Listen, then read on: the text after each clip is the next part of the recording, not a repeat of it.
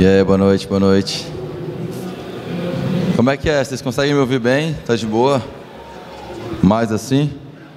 Show. É porque eu, tô, eu ouço muito barulho de lá.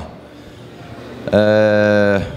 Bom, fui convidado para vir falar um pouco com vocês e quando me disseram que ia ser uma hora da manhã eu falei, mas será que vai ter alguém lá? e eu juro que até, tipo, na hora que eu estava chegando aqui, eu continuei pensando a mesma coisa. Vou chegar lá, vai ter uma pessoa, eu vou sentar na bordinha e vamos bater papo. Mas que bom que vocês estão aqui, de verdade, obrigado. É... Então, para honrar vocês e para honrar o trabalho que eu tive de trazer também essa informação para vocês, vamos fazer aqui um excelente bate-papo. Se vocês quiserem ficar mais perto, de repente pode funcionar melhor, mas estamos de boa também. É... Bom, é... quem aqui é empreendedor? Legal. Quem aqui tem uma ideia? Legal. Quem aqui tem mais do que uma ideia? Show. Quem já tem uma startup? Legal. Quem tem cliente? Legal. Quem já recebeu investimento? Ninguém. Quem quer receber investimento? Ah. então tá, então isso é conversa para vocês. É, vou começar me apresentando. Então, meu nome é Kratos. Eu estou numa jornada. Brincadeira. Galera, meu nome é Henrique Guimarães. Eu comecei a empreender na internet em 2007. Fundei uma empresa e afundei minha empresa em 2015. Terminei de afundar em 2014 para 2015. Nessa jornada, é... eu fui para o Vale do Silício, fui acelerado lá no Vale do Silício. Eu recebi investimento de grandes investidores no Brasil e nos Estados Unidos. É... E apesar de tudo de bom que aconteceu, muitos acertos que a gente teve, eu digo que eu cometi todos os erros que um empreendedor comete. E, portanto, não poderia ter tido um resultado diferente do que uma empresa quebrada. Então, depois do, da conclusão dessa jornada, quando eu fui entender o que aconteceu, eu declarei para mim uma coisa que foi: é, não precisa que todos os empreendedores vivam a mesma jornada que eu vivi e cometam os mesmos erros que eu cometi. E a minha declaração foi: eu quero viver de compartilhar e apoiar os empreendedores a terem uma jornada mais leve. Beleza? Então, nesse momento, eu conheci uma empresa chamada Cotidiano, que é a empresa que eu estou até hoje, é uma aceleradora de startups e um fundo de investimento. Então, o que a gente faz é, a gente procura em startups que estão em fase de validação, ou seja, já tem um produto pré-lançado, já tem clientes, e, só que precisam de ajuda para encontrar um melhor modelo de negócio para rodar. A gente vai falar muito sobre isso aqui hoje, tá bom? É, então, assim, é isso que me traz aqui hoje, beleza? Para falar para vocês um pouco sobre isso, sobre essa jornada e como vocês podem construir os seus negócios para serem apetitosos para o Venture Capital Game, para os investidores que costumam investir em empresas inovadoras que são startups. Beleza? Quem sabe o que é uma startup? Legal. Então tá ótimo.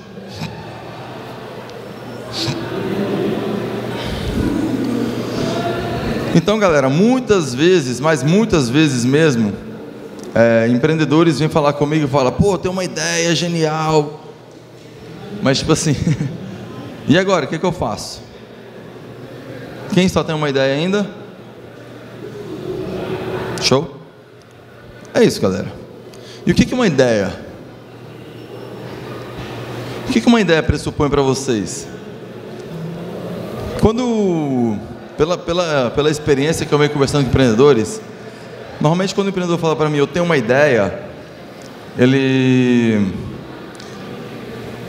Ele viveu algum contexto X na vida dele, É, ou ele observou a partir de algumas experiências que ele teve, ou ele fez um estudo e ele imaginou, conseguiu perceber um problema, imaginou a solução. Beleza? Normalmente a ideia é aquela solução. Ele está lá pensando, pô, vou fazer essa parada, vou fazer isso, aquilo, vou resolver, e vou fazer e acontecer e tal.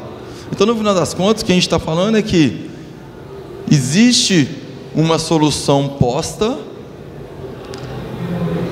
é, e portanto a gente tem uma solução que é uma coisa mega importante, ou a gente tem uma mega ideia e isso já me garante um business de sucesso. Certo?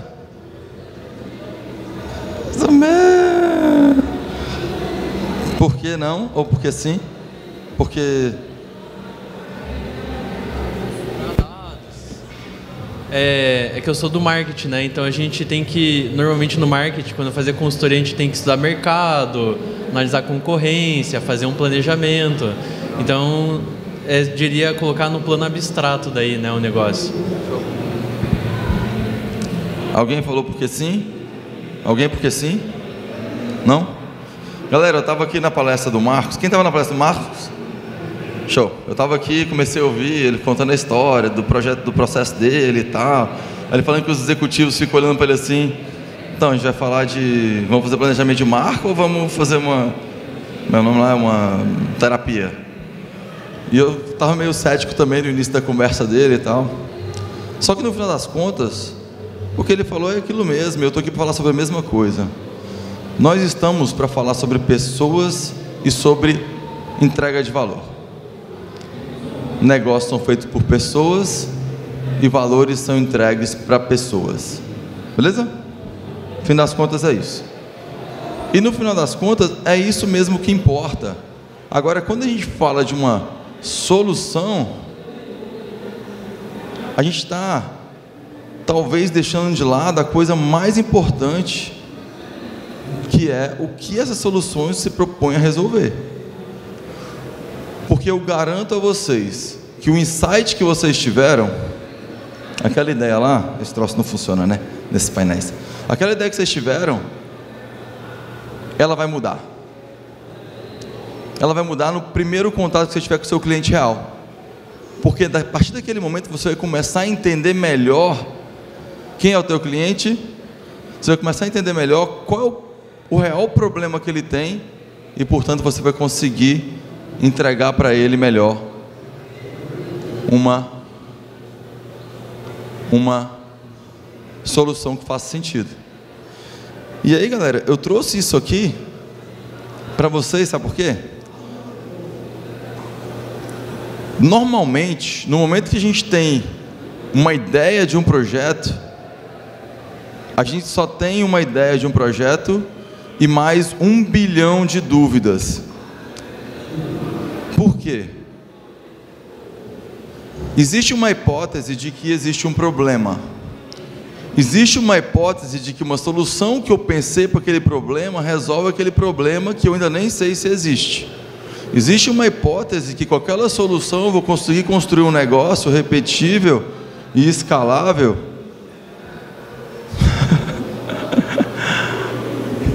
de, uma, de uma solução, de um problema que eu nem sei se existe. E eu estou insistindo nisso porque a causa número um de morte de startups é construir soluções para problemas que não existem é criar soluções que ninguém quer usar. Quem já leu Eric Ries? Startup Enxuta? Página 1, 2, 3, 4, 5, ele conta a história que ele construiu um projeto lindo no design, dentro do orçamento, dentro do prazo, lançou e o cliente falou para ele assim: para que, que eu preciso disso? E de que adianta um projeto lindo no prazo, com métodos lindos, se o cliente não usa? Não adianta de nada. E se você construir uma solução para ninguém, que merda.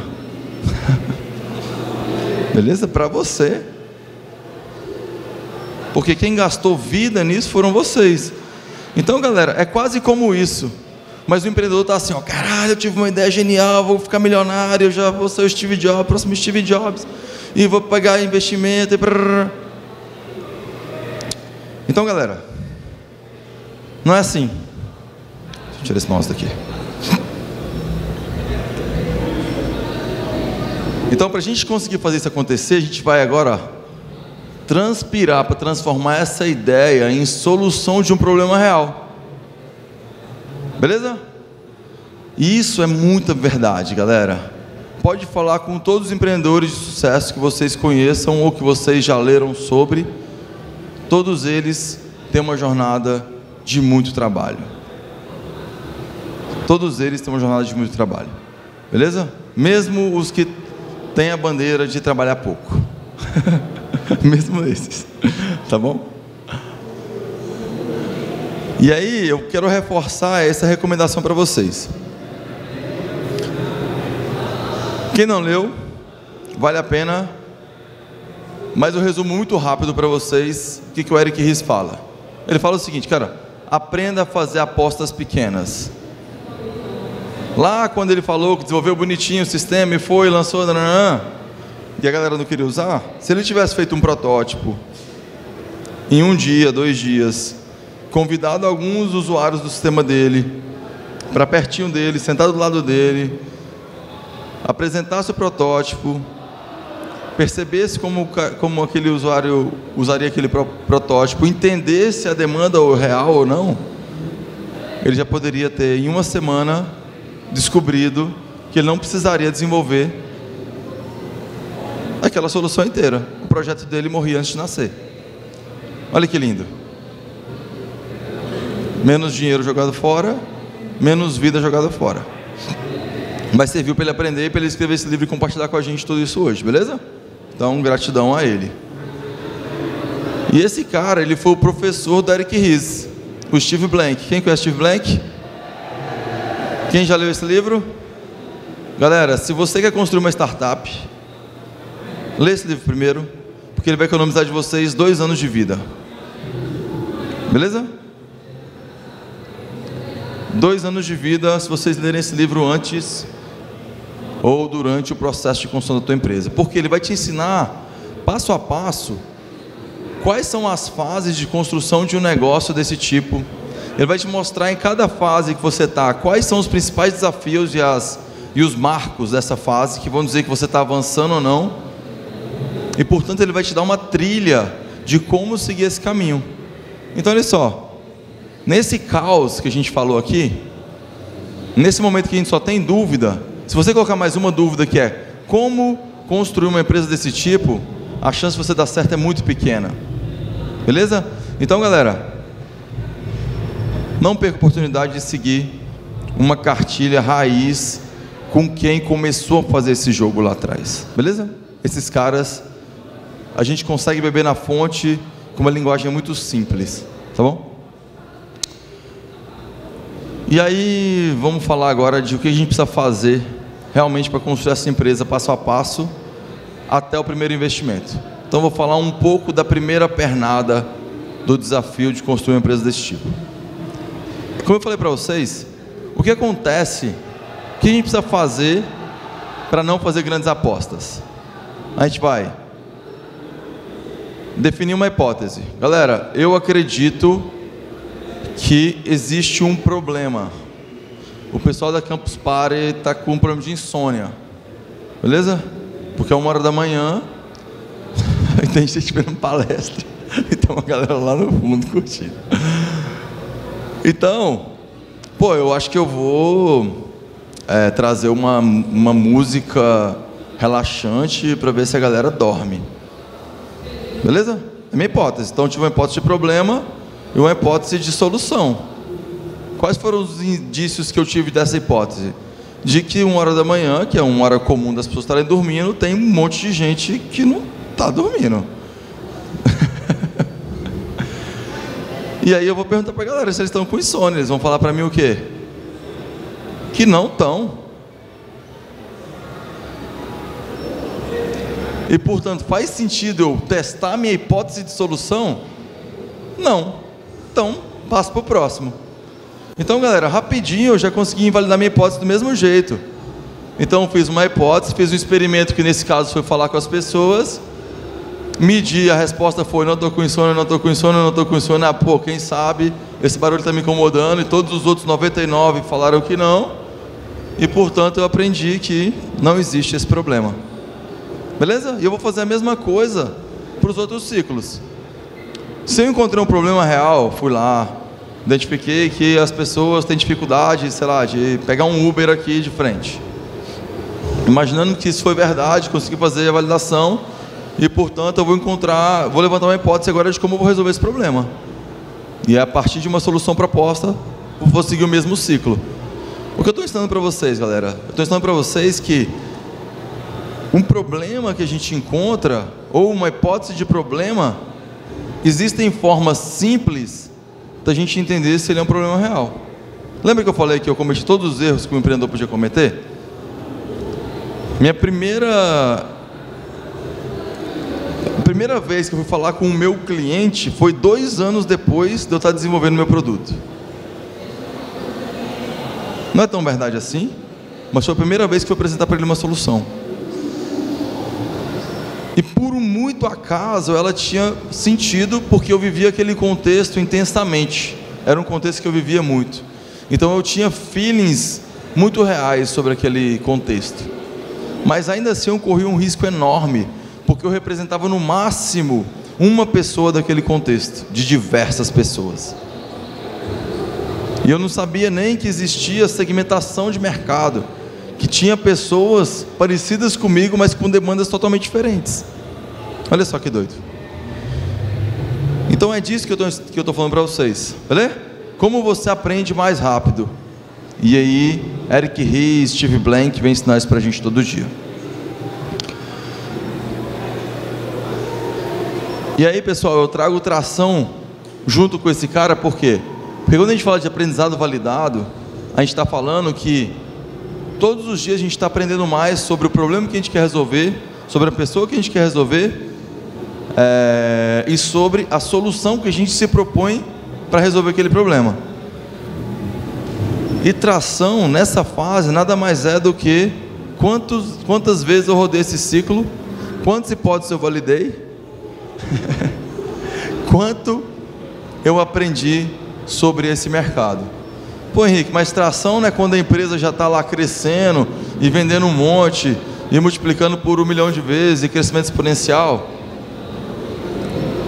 Pode ser, mas não nessa fase. Nessa fase, o que o investidor está procurando olhar para vocês é entender o que você aprendeu e quão rápido você aprendeu sobre o teu cliente, sobre o problema que você quer resolver e sobre a solução que você propõe para resolver esse problema. Beleza? E pessoal, como o Marcos, né, estava aqui antes falou, o que importa no final das contas são clientes felizes.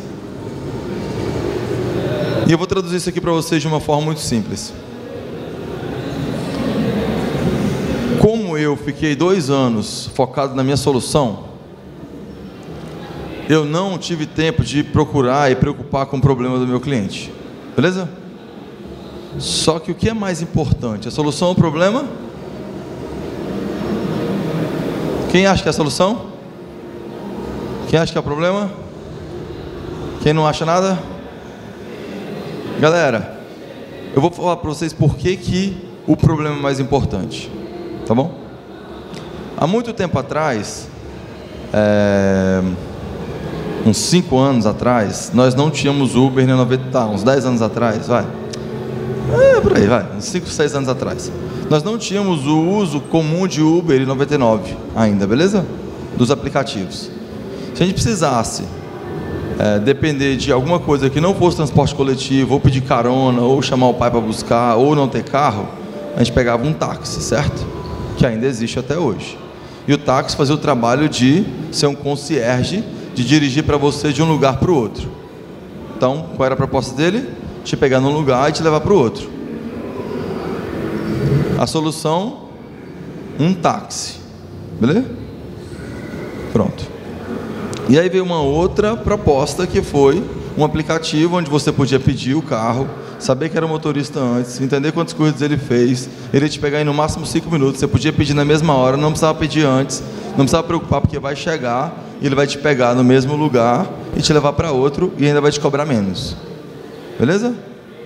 É o mesmo problema que ele resolve? Te pegar num lugar e te levar para outro? É a mesma solução? Não.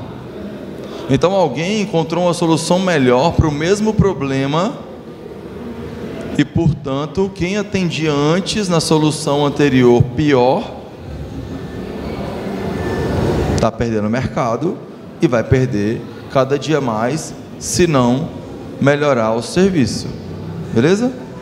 Quantas empresas você conhece que atendem seus clientes há mais de 10 anos da mesma forma? Diversas. E o que aconteceu de 10 anos para cá? Smartphones, internet móvel. O que isso permitiu de criarmos de novidade para diversas tecnologias em geral, tá galera? Inteligência artificial há 10 anos não era como é hoje, realidade virtual e aumentada, blockchain, enfim, a gente tem hoje uma gama de coisas que agregam esse leque e que permite a gente entregar novas soluções. Então é impossível a gente continuar atendendo da mesma forma. E aí, com essas novas coisas, o que a gente consegue, como a gente consegue atender a nova demanda do mercado? Quais são as demandas que não existiam, que agora existem? Quais são as que existem que podem ser melhor atendidas? Como o Uber fez. Beleza? Então, quem é o teu cliente e como você faz ele feliz todo dia? Esse é o conceito de Customer Success. Trazer o sucesso para o seu cliente todos os dias e sucesso é igual resolver o problema dele. Beleza?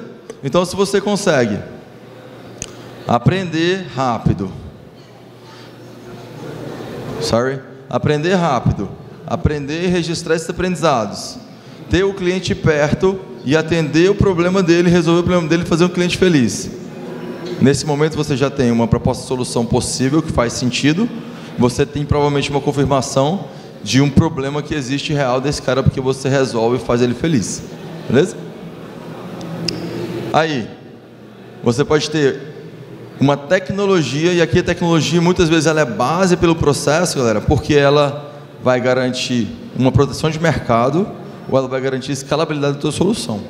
Tá bom? Não necessariamente a tecnologia é uma é um código escrito, é um aplicativo, é um website, pode ser uma técnica, uma tecnologia que, um, por exemplo, um segredo de indústria, que é uma forma diferente de como fazer aquelas coisas e, portanto, isso pode ser é, o teu diferencial do teu negócio. O momento certo, o que eu quero dizer com isso? Se eu quiser, o Uber veio, fez uma parada maneira, então vou criar um novo Uber agora, certo? Posso querer, mas vai ser muito difícil, porque o mercado já está cheio de Ubers por aí e Ubers bilionários, beleza? Então, não é esse o momento. Mas por que pode ser o momento de criar uma nova solução para educação, por exemplo? O que mudou no contexto, só um exemplo mesmo. O que mudou no contexto que a gente vive de tecnologias, de políticas públicas, de comportamento, de gerações de pessoas que, portanto, justifica que essa solução venha fazer parte agora dessa, desse momento. Beleza? É... Quem conhece esse termo, Venture Capital? Legal. Quem já falou com algum investidor de Venture Capital? Tá bom. Galera, quem é o Venture Capital? O Venture Capital é uma indústria que nasceu para investir em empreendedores inovadores, beleza? No final das contas, em startups. Existe um caminho de investimento que esse cara segue. Eu vou. que a gente chama de esteira de investimento.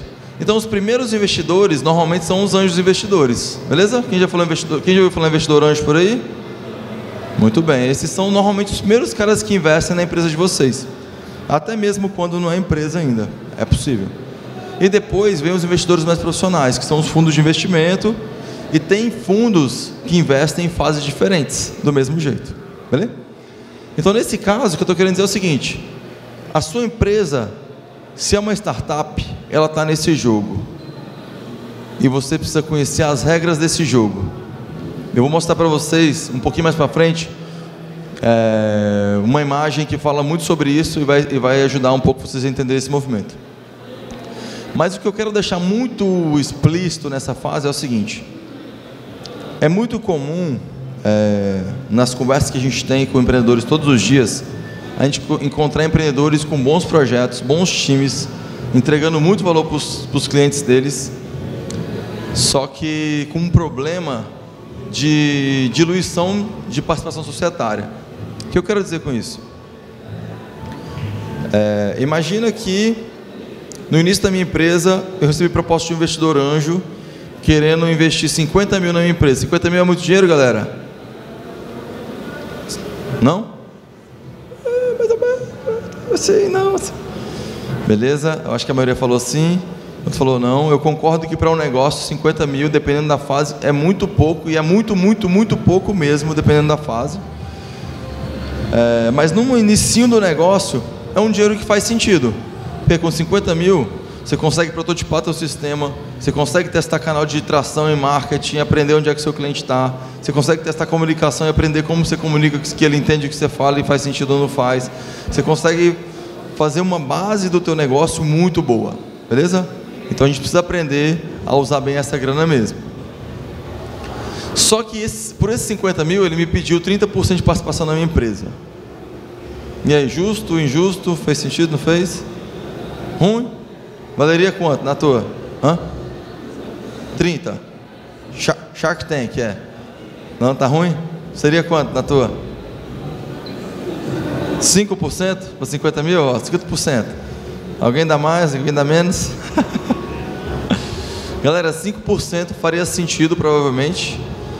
30% seria um suicídio da tua empresa nessa fase, como uma startup, não como uma empresa, tá bom? Como uma startup que quer jogar o jogo do Venture Capital. Então eu já falei com diversos e diversos empreendedores que nessa fase eles é, já estavam com, com cliente, já estavam com faturamento, faturando 30, 40, 50 mil é, e tinha muita diluição de capital na fase errada da empresa. Ou até empresas que estavam faturando zero e tinha lá já diluído 40% de capital, por exemplo, porque ou o investidor comprou errado, ou algum fundador da empresa que já não acreditava mais no negócio saiu e não devolveu as cotas para os sócios, levou as cotas. E o Venture Capital entende isso como está diluído.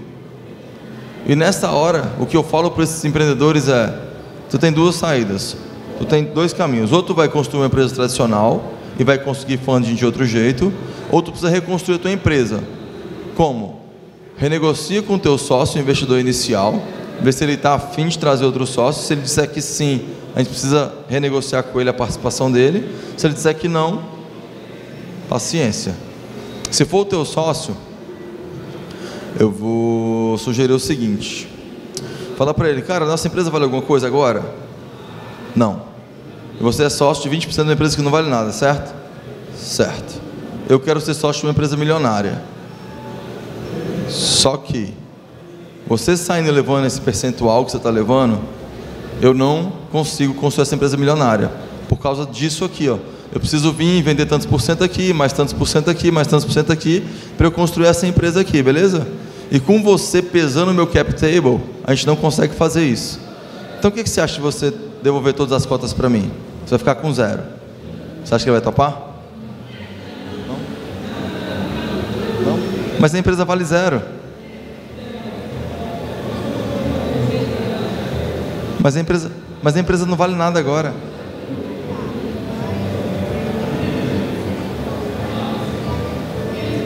É isso, a empresa ainda não vale, mas ele entrou no negócio que ele quer escalar, mas ele não acredita mais, ele saiu, ele não está na operação e founder não, que não está na operação não pode ter participação de founder.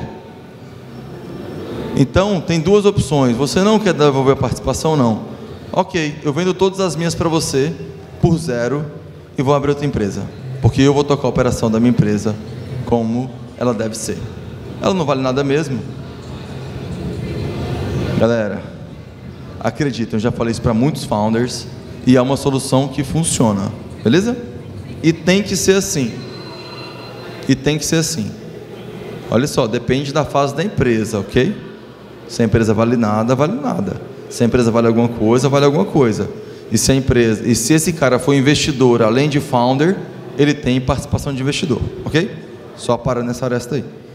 Então, galera, proteja o teu cap table. Não dilua errado o teu cap table. Tá bom? Antes de pegar qualquer investimento para tua empresa, estude as regras do venture capital, entenda os padrões de mercado e não consuma errado o teu cap table. Não consuma errado as cotas da tua empresa, beleza? Investidor ideal é porque assim, o, investidor bom escolhe os fundadores que ele quer investir, os fundadores bons escolhem os investidores que ele quer que investam nele. Beleza? Então, escolha o teu investidor. Entenda se ele tem condição de te ajudar a levar a tua empresa para o próximo estágio, de te ajudar a entrar no mercado que você precisa entrar, de trazer mentoria estratégica para a tua empresa. Tá bom? Por isso que eu trouxe esse cara aí. E galera, é impossível fazer um negócio sem vender. Tá bom? Eu listei nesse caso aqui porque eu sempre esqueço de falar algum. E é muito ruim quando eu esqueço, porque é muito importante. Então, sim, você tem que vender para o seu cliente. Você tem que vender para o seu cliente, é claro. Se você tem a chance de vender para o seu cliente antes de você ter produto, vende. Antes de você ter. Por quê? Porque nessa hora você está validando se ele realmente quer, se ele paga, quanto que ele paga. Você está aprendendo sobre aquele cara. Beleza? Então a gente está lá nos ciclos de aprendizagem lá atrás, com a hipótese de Pô, será que esse cara pagaria 50 reais por, sei lá, por meu serviço? Eu vou lá, vou anunciar por 50 e vou ver se o cara pagar mesmo, ele pagou. Enquanto ele não paga, ele não pagou, embora ele possa falar que pague, beleza? Tem muita gente que faz pesquisa assim, aí você pagaria 50 reais por esse serviço? A galera fala sim, sim, sim, sim, sim, e na hora de pagar, não, não, não, não, não. Então, só paga quando paga. Então tem que vender para o seu cliente. E tem que vender para o seu investidor. O investidor ele compra o que nessa fase, galera? Vocês têm uma ideia, vocês têm um cliente, dois. Ele compra o quê? Ele compra a tua história, ele compra o teu sonho, ele compra a tua capacidade de execução, ele compra o teu time. Então esse cara, o que ele está preocupado é, meu, que, que tu está nisso, velho? Quando que tu está apostando nisso? Quais eram as tuas alternativas? Pô, eu estava desempregado, sem fazer nada, olhando para o céu e pensei, meu, acho que eu vou começar a empreender agora. Valeu, mano. Vai ser tipo isso. Então, qual é o teu skin in the game? Qual é o teu sangue nesse jogo? Beleza? É isso que ele quer saber. Então, tu precisa vender para esse cara. Tu precisa vender para o teu co-founder. Como é que é a história da tua empresa? Eu estava lá, tive uma ideia genial. Aí eu estava nessa hora eu estava com meu sócio. Provavelmente não, eu estava sozinho, provavelmente. Aí fui, troquei ideia com umas pessoas e tal. E nessas ideias fui entendendo melhor as paradas, comecei a testar meu negócio, falei com o meu cliente, fui validar. E de repente eu entendi que eu precisava trazer alguém para compor as minhas habilidades. Porque de repente eu sou um cara de vendas, mas eu precisava de alguém técnico para desenvolver uma solução que eu entendia que fazia muito sentido nesse caso. Então nessa hora eu preciso vender para essa pessoa, meu, beleza, beleza. Pô, tu tá aí trabalhando, ganhando um salarão de mercado, maneiro, né? Massa demais. Cara, eu vou te falar uma parada. Eu descobri uma forma de transformar um segmento da sociedade e vai ser incrível. Sério, eu já testei, já falei com a galera, eu já validei o problema e eu sei que esse é um mercado de milhares de pessoas. Velho, é incrível e pelo que eu te conheço do mercado, pelas habilidades que eu sei que você tem, você é a pessoa ideal para estar comigo nesse business. Tô vendendo pra caralho, velho. Tô vendendo. E é isso que eu tenho que fazer. Por quê? Porque do mesmo jeito, eu tô vendendo um sonho. E essa pessoa precisa acreditar em mim tanto que ela vai pular num barquinho que hoje estou remando sozinho para remar junto comigo para transformar esse sonho em uma realidade, porque hoje ainda não é uma realidade. Olha que doido.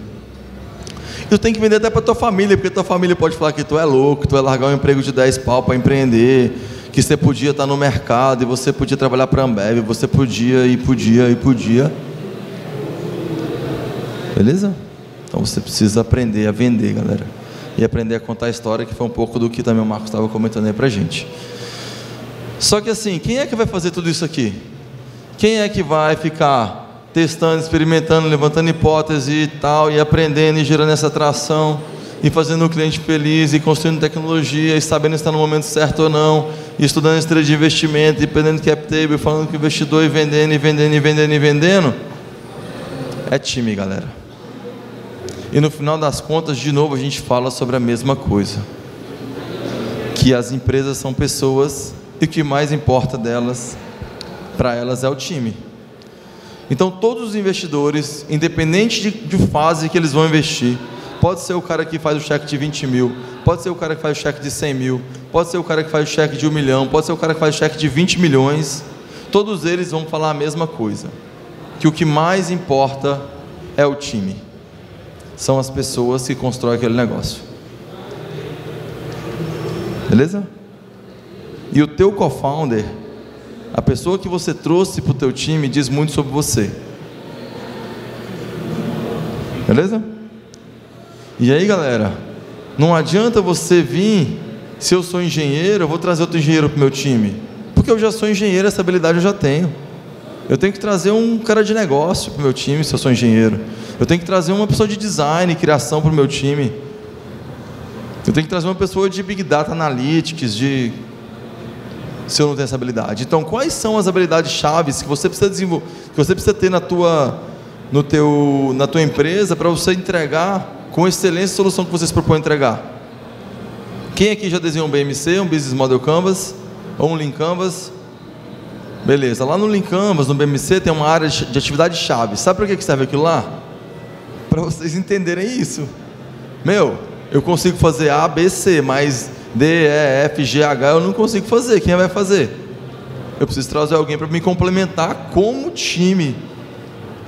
E ninguém sozinho vai fazer um grande negócio. E existe um grande risco em empresas de uma pessoa só, galera. Nenhum investidor investe em empresas de uma pessoa só. Beleza? Porque se você morre, a sua empresa morre com você. Se você fica doente ou sai de férias, sua empresa fica doente ou sai de férias junto com você. E você para de fazer cliente feliz. Beleza? Então, é... quem conhece essa imagem? Legal. O que é isso aqui, galera? Isso aqui é um resumo muito simples das fases que uma startup vive. Passo 1, um, descoberta, que é quando eu consigo entender se o problema existe de verdade e se a solução que eu proponho para esse problema, ela resolve esse problema de verdade. Quando eu desenvolvo um, um mínimo produto viável, que é o mínimo que eu posso ter para resolver de fato um problema que eu propus a resolver, beleza? E quando eu tenho algumas pessoas para falar. Essa é a fase de descoberta. E normalmente vocês vão receber o primeiro cheque quando vocês entrarem para essa fase aqui de validação. Ou seja, terminei a descoberta, o problema existe, a solução que eu proponho resolver resolve, ainda não consigo resolver de muitas pessoas ao mesmo tempo, não tem problema, ainda não consigo monetizar e rentabilizar tão bem assim, não tem problema, ainda não é escalável, não tem problema, mas tem condição de ser? Se sim, beleza, a gente vem para cá. Nessa hora, provavelmente é a hora que você vai fazer o seu primeiro investimento.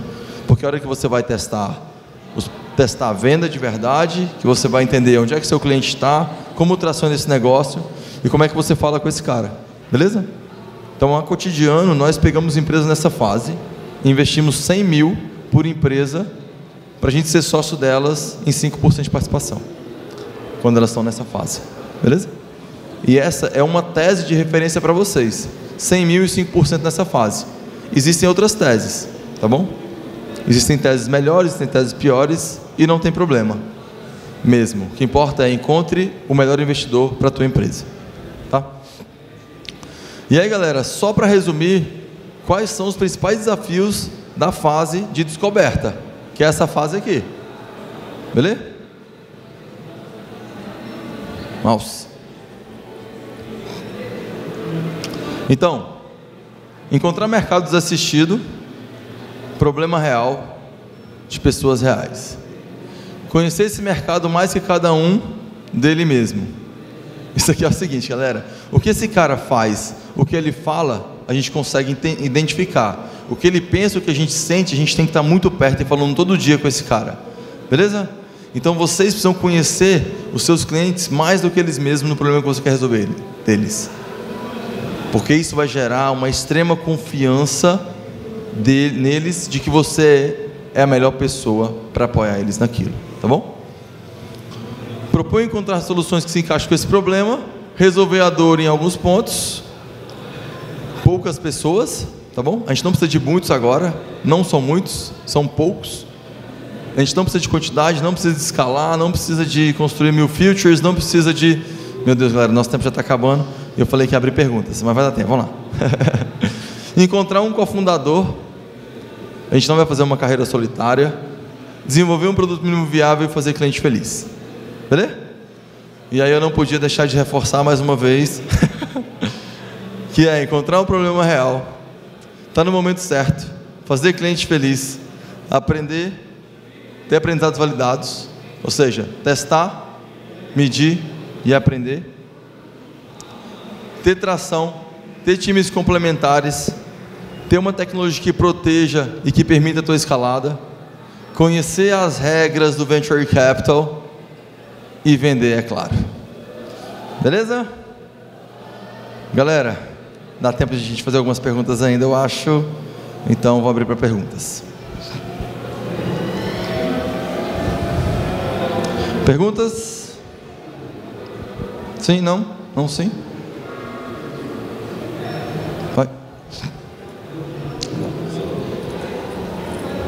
Vai trazer lá, pessoal? É, boa noite. É, quando você estava falando sobre os cofundadores, né? Uh, você comentou que às vezes eles podem sair e ficar com uma parte da empresa, né? É, Para isso eu vi que tinha uma solução que seria a parte de vesting. É... De investidores não, que de... investiram não, em... Hã? Não, um cofundador. Uhum. Quando um cofundador ele sai da empresa. É, para prevenir isso, eu vi que tinha alguma coisa chamada vesting, que é quando você faz um contrato, né? Ótimo, uhum. bom ponto. Queria saber sobre isso. Legal.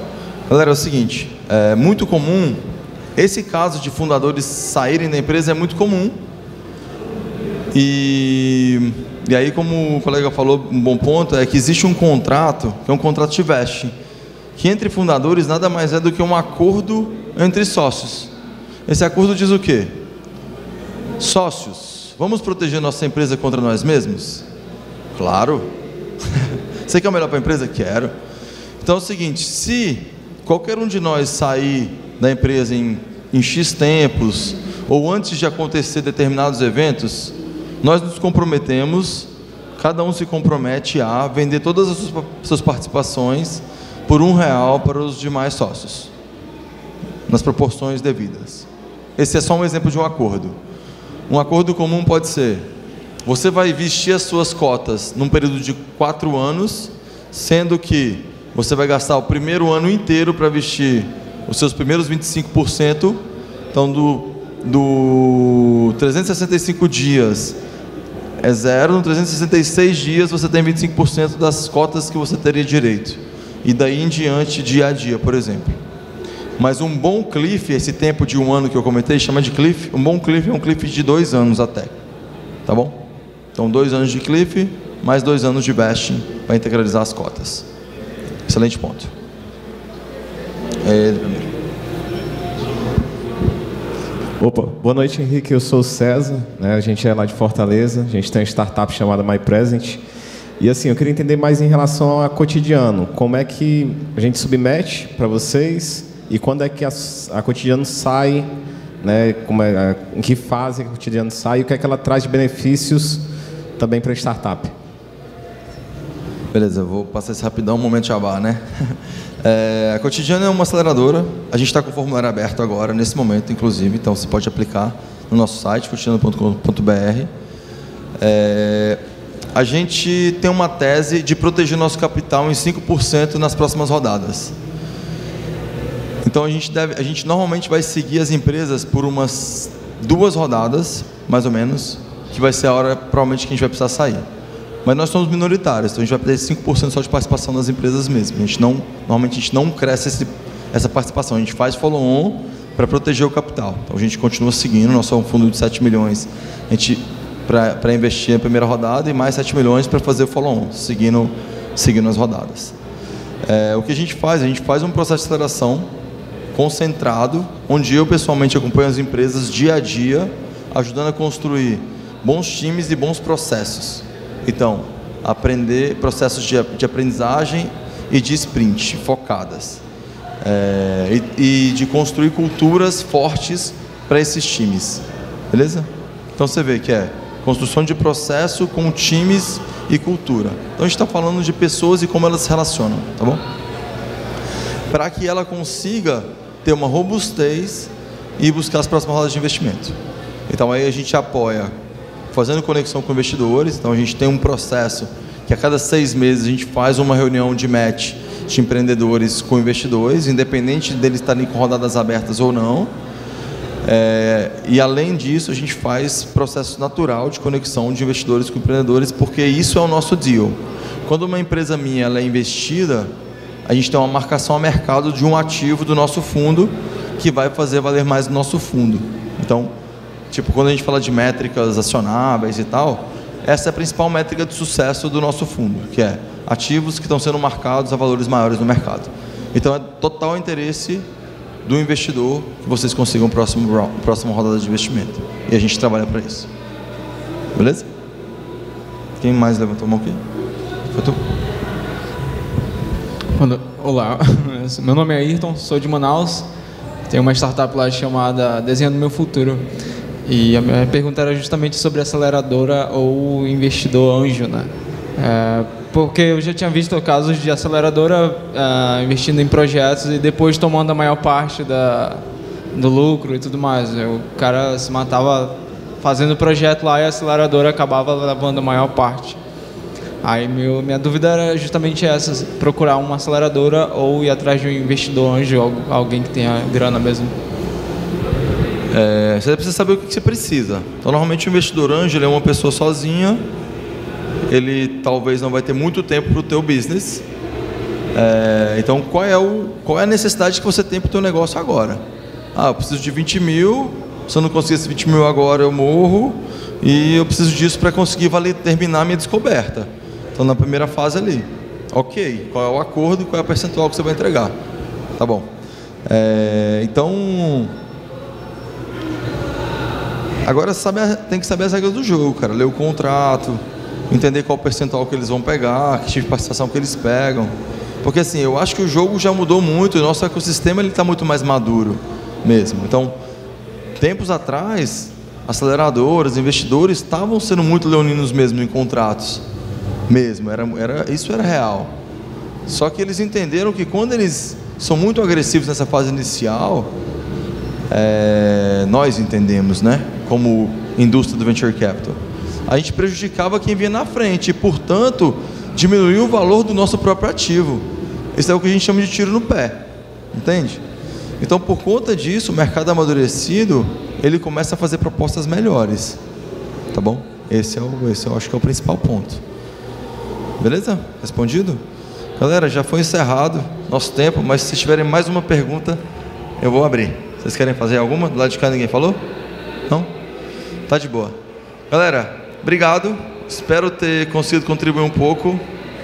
É... Então, sim, eu acho que o a principal mensagem é cliente feliz, beleza? Foca em resolver o problema dele e a melhor solução, bons times vão encontrar. Times ruins morrem antes de achar, beleza? Por isso o investidor investe em times. Beleza, galera? Sejam bons times, tragam bons fundadores, estejam perto do teu cliente fala com ele todo dia, entrega valor para ele todo dia, vocês vão ter uma boa empresa com isso e com certeza vocês vão ter investidores interessados a investir nos business de vocês. Tá bom? Obrigado, gente.